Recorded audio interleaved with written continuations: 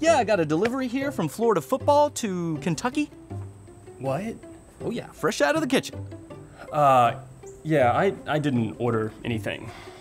Oh, God, that's, that's weird. I mean, it says right here one large conference loss, uh, extra salt.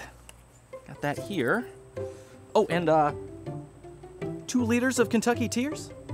Okay, well, I didn't order any of that, and the game hasn't even started yet. So, I don't know. That's what Miami said. look, the streak, it's over. Done. Okay? Sawyer Smith is about to blow up tonight. We have the Kroger Field advantage, so for the last time, I didn't order any of that.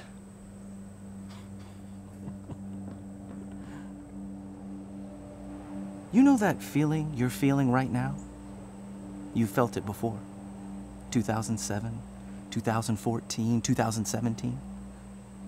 Hope. But deep down, you know what's going to happen. Will Florida deserve to win? Probably not.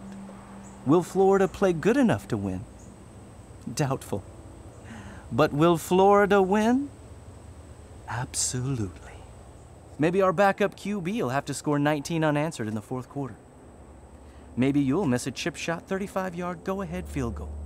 We've seen it all before. No, that's that's not us. We're a different Kentucky. No, there's only one Kentucky. And your name is on this box.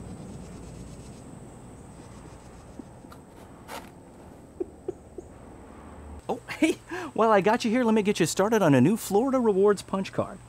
31 more, and you get a free order of Choco Explosion Fun Sticks.